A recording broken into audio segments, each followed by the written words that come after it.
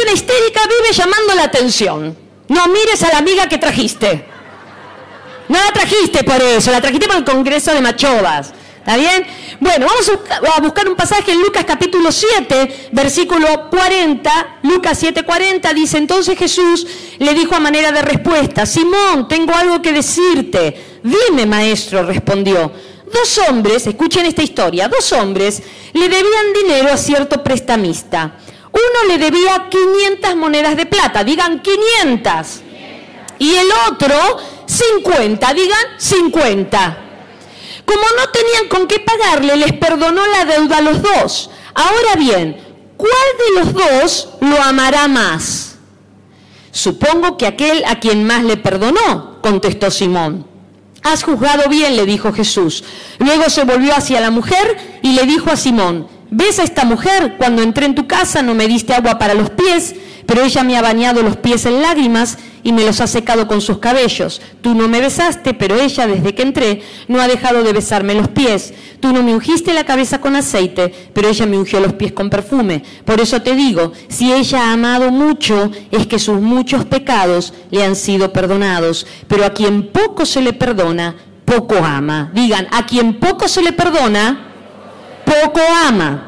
Entonces le dijo Jesús a ella, tus pecados quedan perdonados. Los otros invitados comenzaron a decir entre sí, ¿quién es este que hasta perdona pecados? Tu fe te ha salvado, le dijo Jesús a la mujer, vete en paz. Muy bien, y quiero hablarles un poquito de qué, es una persona histérica. Ustedes saben que la histeria por mucho tiempo se pensó que era este, pertenencia solamente de las mujeres, pero a lo largo del tiempo se descubrió que hombres y mujeres podemos ser histéricos. Y no, mira la persona que tenés al lado, la cara de histérica que tiene.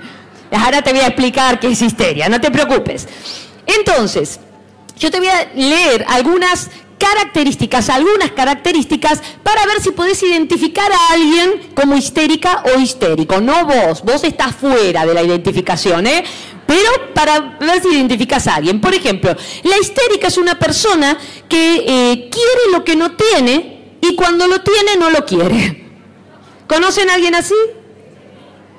Quiere lo que no tiene y cuando ya lo tiene, cuando ya lo adquirió, ahora ya lo desecha no lo quiere. Por eso a muchas mujeres que pasan, pasan de hombre en hombre. Una vez que lo conquistaron, ya que hacen, no lo quieren más y van a conquistar el próximo. Hay hombres y mujeres histéricos. ¿Cuántos conocen a alguien así? Háganme así con la manito para que yo sepa muy bien. Otra característica es que la seducción es su arma. La seducción es su arma. Creen que los demás son esenciales para la supervivencia y necesita que todo el mundo la ame o lo ame. Buscan amor y aprobación del entorno. Esa es la característica principal. Que lo que hace la histérica o el histérico con esto de eh, te, quiero, después te suelto, eh, es buscar amor. Digan buscar amor.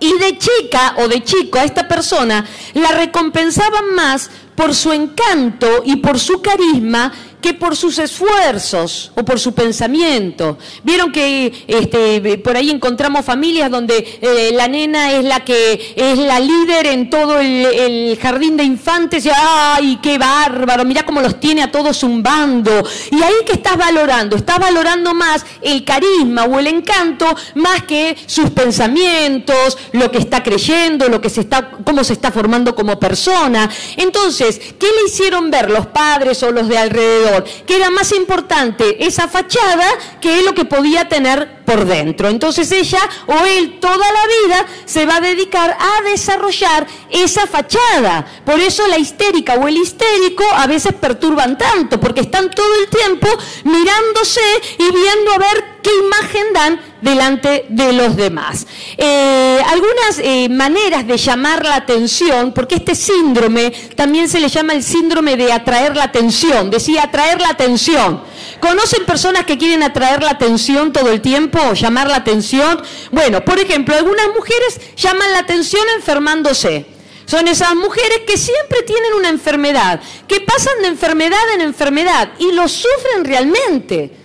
Pero porque están queriendo llamar la atención, porque saben que si no están enfermas, sienten que nadie las va a querer, nadie se va a preocupar, nadie las va a llamar por teléfono, nadie les va a dar importancia. Entonces, cuando están enfermas, tienen a los vecinos alrededor, a los hijos llamándola, al marido ahí al lado que no se va a ningún lado.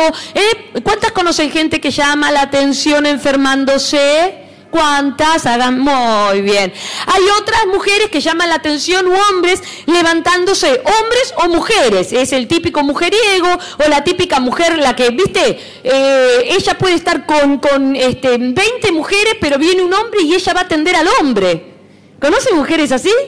Hay que atenderlo a él, porque el hombre es como más importante que 20 mujeres que hay alrededor. Entonces son esas mujeres que se desesperan por atender al hombre. Pero ¿cómo no lo atendés a él? Él es el importante. Entonces se matan y se desesperan porque porque quieren atraer la atención del hombre, lo quieren seducir. Ahora no es seducir para tenerlo, no, es seducir para ver si todavía ella tiene encanto y después ya lo suelta. Decirle al lado, no lo intenté con mi marido, decirle así. ¿Está bien? Hay otras que llaman la atención gritando, agrediendo, etcétera, etcétera. Es el síndrome de llamar la atención. ¿Cuál es el origen?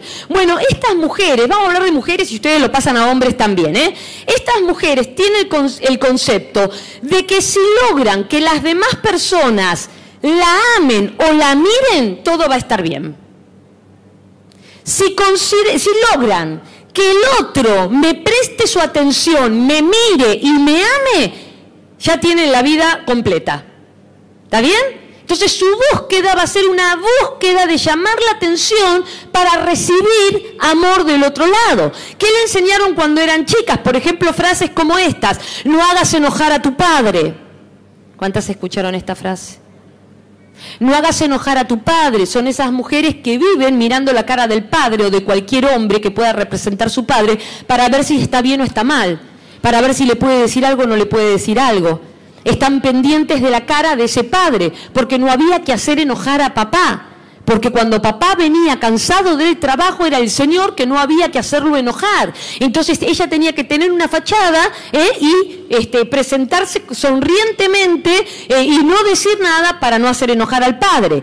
O caerle en gracia a la maestra. ¿Cuántas le dijeron esa frase también? Le tenés que caer en gracia. Entonces tenías que matarte para caerle en gracia a esa maestra, a esa tía que venía a visitarte que no la soportaba, pero le tenías que dar un beso atenderla y vos no querías porque te daba miedo, tenía unos bigotes así que te pinchaban, pero había que caerle en gracia. O te decían, no contestes, calladita, cerrá la boca. ¿eh? Entonces vos tenías que mostrar una imagen. O agradar a tu marido, siempre que había que agradar al marido. No quiere decir que no hay que agradar a los demás, pero estoy diciendo cuál es el mensaje eh, más fuerte que se le dio a esta mujer para llegar a ser una mujer que necesite atraer la atención. O con ese carácter te vas a quedar sola. ¿A cuánta le dijeron Con ese carácter te vas a quedar sola. Entonces la mujer que tiene que hacer toda la vida, cambiar el carácter, ¿eh? Porque no está bien que la mujer tenga ese carácter porque eso no le gusta a los hombres, ¿eh? Entonces había que cambiar el carácter. Eh, entonces empezás a desenfocarte de vos para enfocarte en cómo se siente el otro cuando está con vos. Te lo vuelvo a repetir te empezás a desenfocar de vos y cómo sentís y qué pensás y qué opinás sobre algo para enfocarte en cómo el otro se siente cuando está con vos. Y para vos lo más importante es que el otro se sienta bien cuando está con vos. Por eso hay cosas que no decís, hay cosas que callás, hay mentiras que te tragas de la gente que te la dice y para no decirle eso no, hay cosas que haces que no querés, ¿por qué? Porque tenés que agradarle al otro y parece que le tenés que agradar en la vida a todo el mundo. ¿Cuántos están acá? ¿Cuántos se identifican a ver con este modelo? Muy bien, porque nos, nos han enseñado así. Nos valoramos a veces en función del amor o la mirada que el otro nos dé. Y el lema de estas mujeres es, dime cómo te aman y te diré cuánto vales. Ese es el modelo que tienen.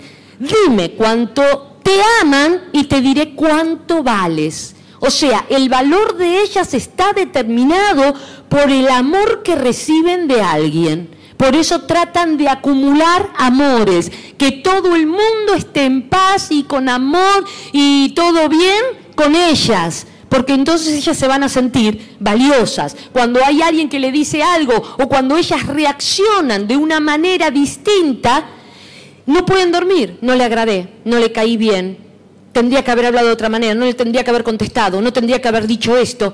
Y no pueden dormir, ¿por qué? Porque sienten que no le agradaron a alguien. Y si no le agradaron, no van a recibir el amor de esa persona. ¿Estamos bien hasta acá?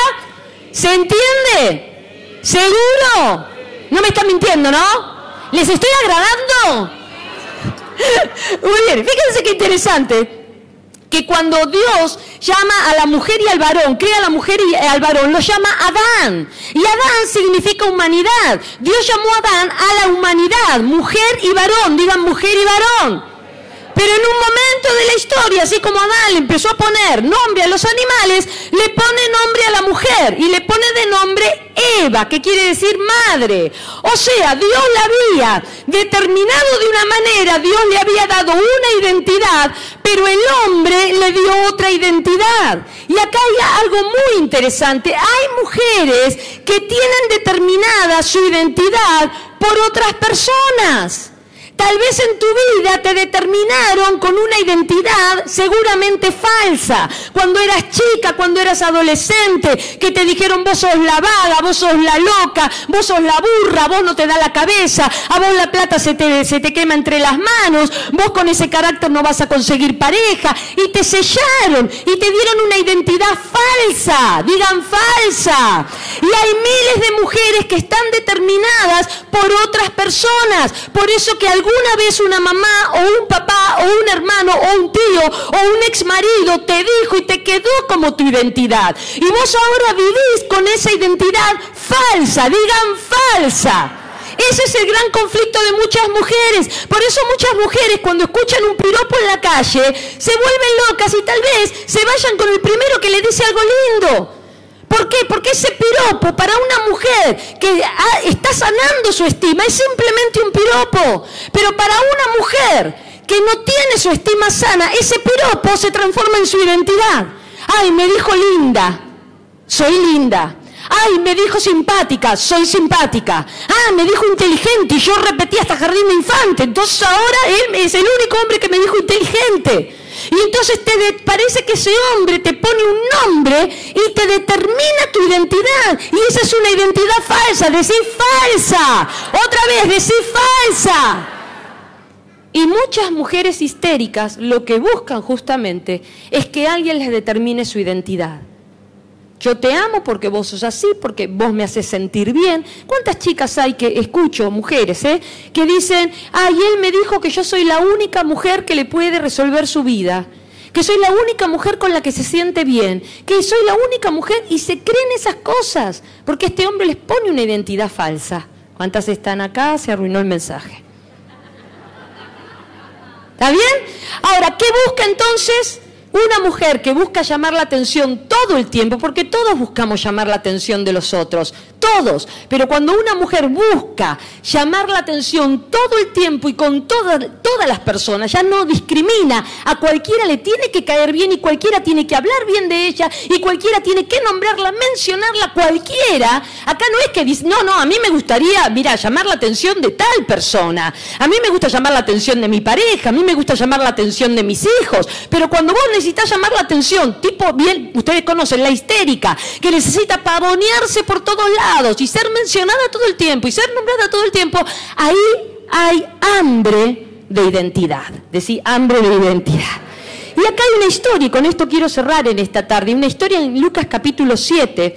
Es una mujer que se le acerca a Jesús y dice que le seca los pies, primero los, los este, moja con sus lágrimas y luego le seca los pies con su cabello. O sea, toda la, suciedad de los pies de Jesús va a parar a los cabellos de esta mujer. Eh, hace una obra maravillosa que después Jesús la va a ponderar. Y dice que alrededor había otros que estaban en esa misma casa y los otros la empiezan a juzgar, porque los otros de alrededor le empiezan a poner nombre porque la gente siempre nos va a querer poner nombre, ¿sí o no? La gente siempre nos va a querer dar su identidad, una identidad falsa. La enferma, la loca, la pobre, la que no le da la cabeza, la que siempre hace problemas, la histérica, la obsesiva, la depresiva. Siempre la gente de alrededor va a querer ponerte nombre. Yo no sé cuál es el nombre que te han puesto, pero ese nombre te quedó grabado y vos tenés que desprenderte de esa identidad falsa. ¿Cuántos me dicen amén? Y entonces le empiezan a juzgar, le dice, esta mujer es una pecadora, esta mujer es una prostituta porque le pusieron nombre. Y enseguida Jesús actúa, porque Jesús va a venir a actuar en tu vida apenas vean que hay una injusticia sobre tu vida, que están robándote la identidad que Él te dio, porque Dios nos ha dado a todos una identidad. ¿Cuántos dicen amén por eso? Y entonces Jesús le cuenta una historia y le dice, había dos hombres que le debían dinero a un prestamista. Dice uno 500 monedas de plata y otro 50. Simón, vos que estás criticando a esta mujer, decime, ¿quién estará más agradecido? ¿Quién? ¿El que le debía 500 o el que le debía 50? ¿Quién lo va a amar más al prestamista que le perdonó la deuda? Le perdonó a uno 500 y a otro le perdonó 50. ¿Quién va a amar más va a amar más al prestamista. El que le perdonó qué? Más, 500. Si a vos alguien te perdona una deuda de dos pesos o a vos te perdona una deuda de 10 mil pesos, vos vas a amar más al que te perdonó la deuda de 10 mil. ¿Sí o no?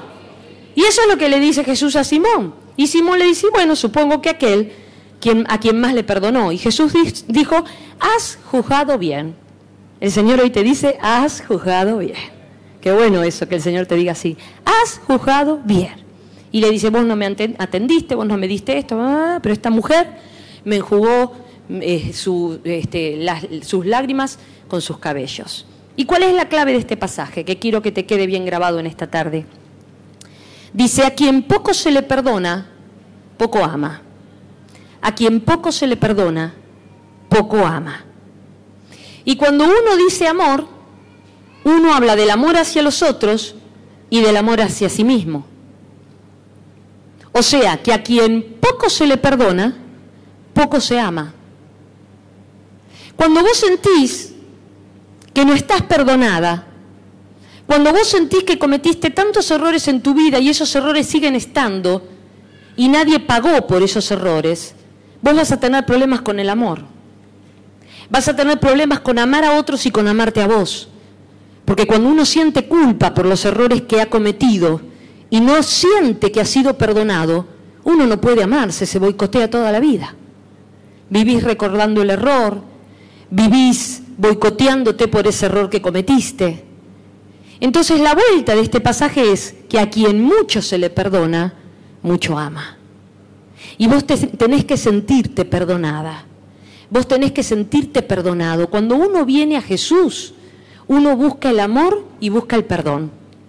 Y cuando uno siente que Jesús hizo una obra en la cruz para perdonarnos. Ay, pero yo no he cometido errores en mi vida. Yo siempre fui una mujer buena. Yo siempre amé a toda la gente. Fui bárbara. Justamente, justamente. Porque la obra de Jesús era algo que nosotros no nos merecíamos. No nos merecíamos porque estábamos todos perdidos, todos en pecado, todos separados de Él. Por eso cuando yo reconozco que Jesús hizo una gran obra en la cruz y que esa obra fue para perdonar todo lo que yo hice, lo que hago y lo que haré, entonces yo me siento libre para amarme y para amar a los demás. ¿Te sentirás realmente perdonada? ¿Te sentirás realmente perdonado o todavía seguís cargando con los errores que cometiste? Errores grandes o errores pequeños, no importa, porque a veces los más pequeños son los que más te perturban. Equivocaciones que cometiste con otras personas. Errores que no te diste cuenta, pero igual los cometiste. ¿Te sentís realmente perdonado? Porque a veces hablamos, Dios perdonó, Jesús perdonó, pero sin embargo seguimos viviendo como si ese hecho nos hubiera sucedido hoy. ¿Te sentís perdonado? ¿O buscas en el fondo querer agradarle a todo el mundo porque te sentís inapropiada. Porque te sentís inapropiada. Porque alguien te metió culpa. Porque alguien te dijo, eso que hiciste nunca nadie te lo va a perdonar. Yo he visto tantas mujeres que me han dicho, Alejandra, a mí tal persona me dijo que ese error que cometí no me lo perdona ni Dios. No me lo perdona ni Dios. Es más, escuchaba el otro día una canción de no sé quién es, ahí cambiando la radio, ¿eh? Una canción que decía, a veces Dios perdona, pero la naturaleza nunca, algo así. A veces Dios perdona, Dios perdona siempre. Dios perdona siempre. Y yo quiero decirte que vos estás totalmente perdonada y que cuando entiendas y aceptes que tenés el perdón y el amor de Dios, no vas a necesitar nunca más tener que agradarle a la gente. Eso te va a salir naturalmente con todo el mundo, pero no vas a tener que decir tengo que agradarle porque tengo que recibir el amor de esa persona. ¿Por qué? Porque yo tengo el amor de Dios. Y si tengo el amor de Dios, con eso me sobra y me alcanza para todo lo que quiera hacer en la vida.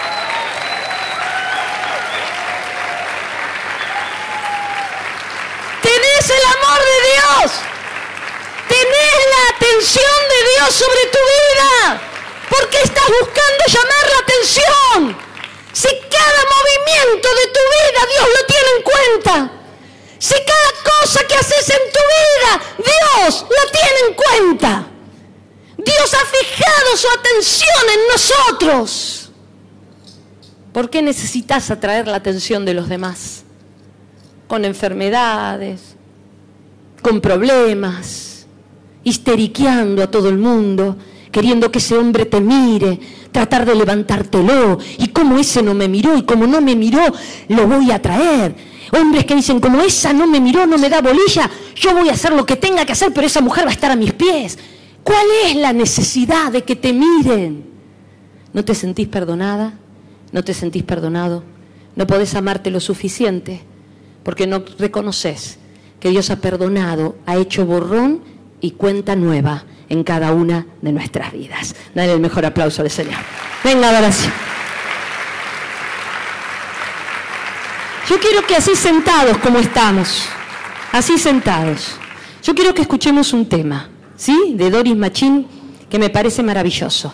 Y quiero que pienses mientras ¿Cuántas son las identidades falsas que hay en tu vida? Que todavía estás viviendo con esas identidades falsas. La gorda, la vieja, la tonta, la que nunca va a conseguir pareja, la que todo le sale mal, la que nunca da en el clavo, la que no tiene sabiduría, la que nunca puede lograr nada, la pobre tipa, la loca histérica, la depresiva. ¿Cuál es la identidad falsa que alguien, alguien te pegó? Escuchamos este tema. Quiero que lo vayas pensando, porque después vas a escuchar la voz de Dios diciéndote algo.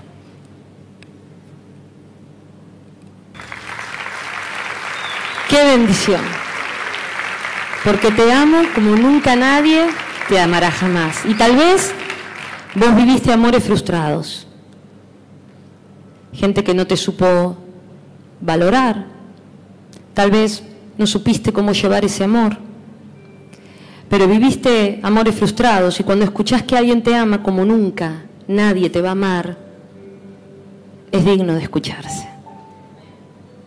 Esa es la identidad, somos amadas, tenemos identidad, somos dignas, estamos perdonadas por Dios, estamos perdonadas, somos libres, no tenés que atraer la atención de nadie, atraes la atención de Dios. Y eso es lo más importante. Yo te voy a pedir que te pongas de pie.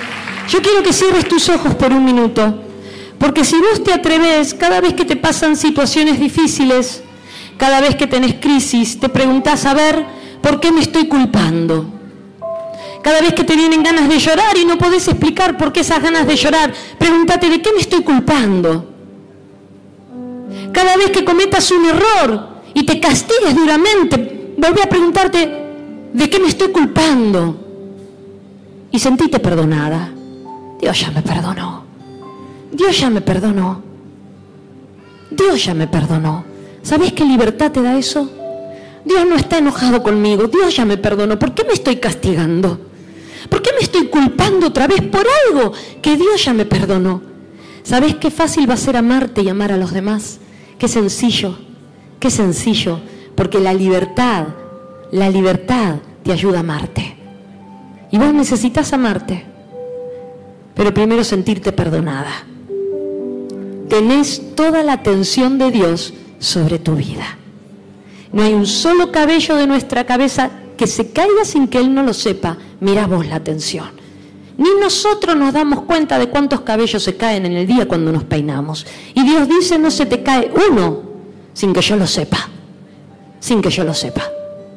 Tenés el amor de Dios, tenés el perdón de Jesús, tenés la atención del Señor sobre tu vida. Está atento a cada una de tus oraciones, a cada una de las palabras que pronuncias en el día para bendecirte, para bendecirte. Sentite amado por el Señor. Cierra tus ojos, porque cuando vos aprendas a abrir tus oídos a la voz de Dios, vas a escuchar esto que Dios te dice. Esta vez lo vas a escuchar con voz de mujer. Pero no hay ningún problema, porque Dios es mamá y papá. Te conozco desde el principio y te he llamado por tu nombre. Te formé en el vientre de tu madre y he contado cada cabello de tu cabeza. Nunca, te dice el Señor, nunca te abandonaré ni esconderé mi rostro de ti. Tú me perteneces, yo te pertenezco. Estás marcada por mi amor y eres el orgullo de mi vida. Palabra de Dios que te rodea y te abraza con amor. Santo. cuando nadie me vio. Me amaste. Me amaste a mí cuando nadie me amó. Me viste a mí cuando nadie me vio. Y atraje tu atención, Señor. Atraje tu atención. Con cuerdas de amor, Señor. Santo. Yo soy tu niña. Yo soy tu niña. La niña de tus ojos. la niña de tus ojos, porque me amaste a mí.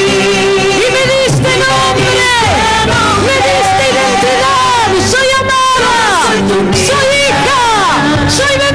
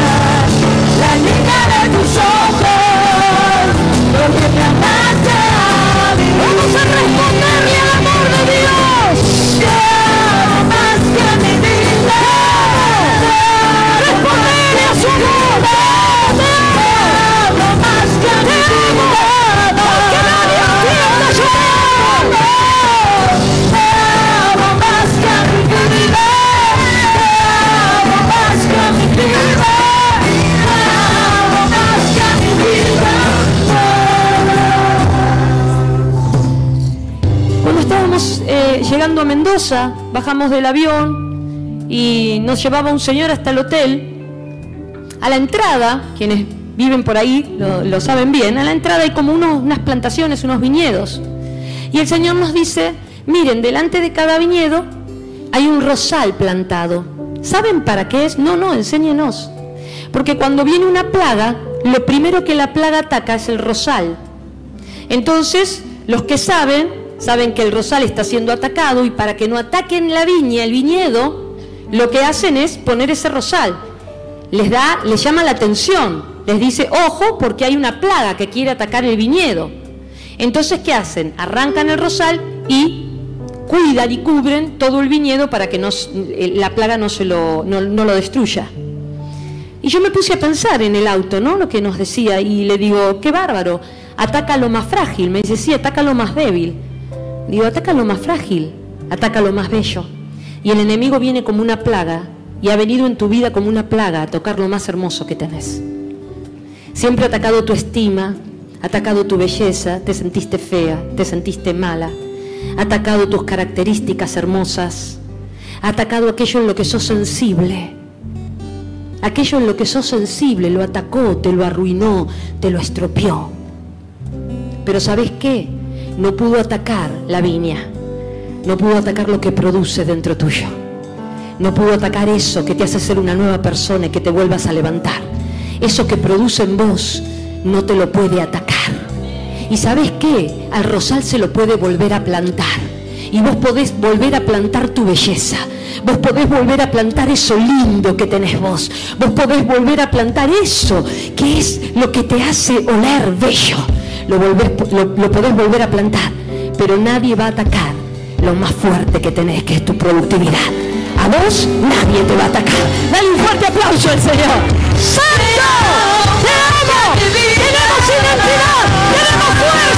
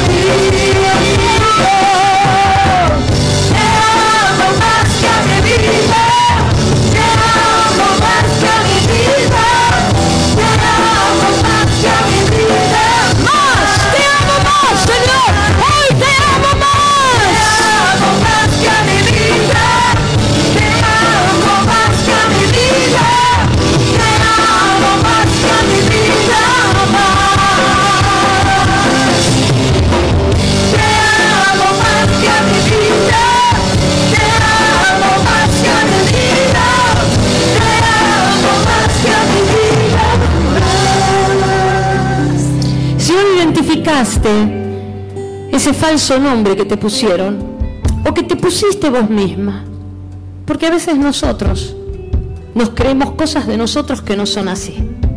Y el otro te dice, vos no sos así, pero nosotros creemos que somos así. No, porque yo soy mala. No, porque yo... Si identificaste el nombre falso que te pusieron, vení acá adelante. Hoy vamos a soltar ese nombre, porque Dios ya nos ha puesto nombre. Somos, somos sus hijas, somos sus hijos, somos herederos y herederas, somos príncipes y princesas, somos sacerdotes. Dios nos ha puesto nombre hermoso. Así que vení acá adelante, vamos a orar con las pastoras. Me viste a mí, cuando nadie me vio, nadie me vio, me amaste a mí. Si alguien te puso una identidad falsa, vení acá. Nadie me amó, Si vos sentís que hirieron lo más hermoso que tenías en tu vida, que lastimaron, que vino la, la plaga y lastimó lo más frágil tuyo, lo que más cuidabas, lo que más valor tenía, vení acá adelante.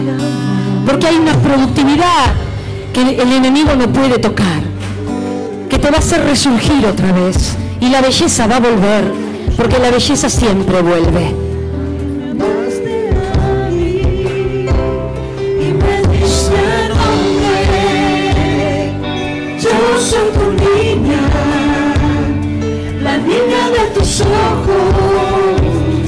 Me amaste a mí y me diste nombre. Yo soy tu niña, la niña de tus ojos, porque me amaste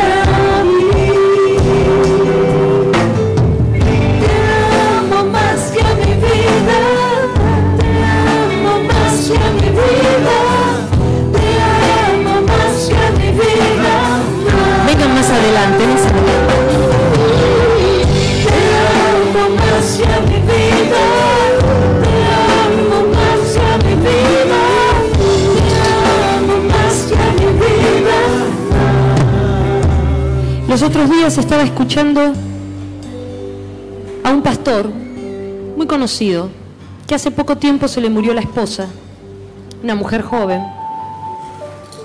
Y él hablaba y lloraba, ¿no? Y dice, a veces me cuesta levantarme cada mañana, antes no me pasaba.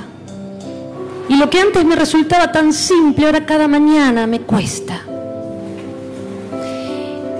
Decía, alguien me preguntó, ¿vas a volver a ser feliz? Y él dijo, sí, sí, porque Dios me va a volver a levantar, porque Dios no me va a dejar en este lugar para siempre, porque yo tengo propósito. Este hombre había experimentado el ataque a lo más bello que él tenía, a lo más frágil que él tenía, que era su esposa.